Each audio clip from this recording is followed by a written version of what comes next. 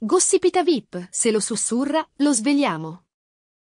Armando Incarnato ha fatto un ritorno sorprendente nell'arena mediatica con un'intervista critica nei confronti dei protagonisti di Uomini e Donne, programma nel quale ha fatto parte per anni come volto televisivo del Trono Over 30. Dopo la sua uscita dallo show, Incarnato ha scelto di rompere il silenzio sui social, lanciando un duro attacco contro i successori, accusandoli di aver trasformato il programma in un ufficio di collocamento. Ha sottolineato il rispetto dovuto a Maria De Filippi e alla produzione del programma, evidenziando la mancanza di rispetto da parte dei nuovi protagonisti. In particolare, ha preso di mira gli uomini di 40 anni che partecipano al trono over, definendoli nulla facenti e criticando il loro desiderio di visibilità e fortuna.